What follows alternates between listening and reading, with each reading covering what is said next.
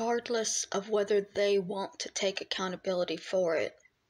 The facts are that these abusive cyberbullying channels are detrimental to the mental health of the people that they target and go after for monetary gain.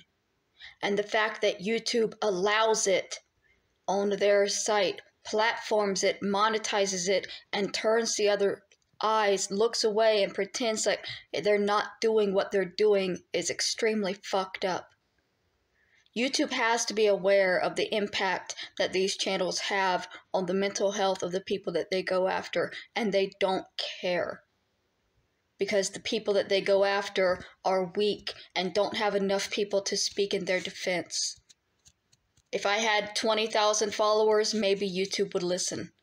But because I'm alone, YouTube is going to allow these channels to continue beating me down and attacking my mental health until they have killed me.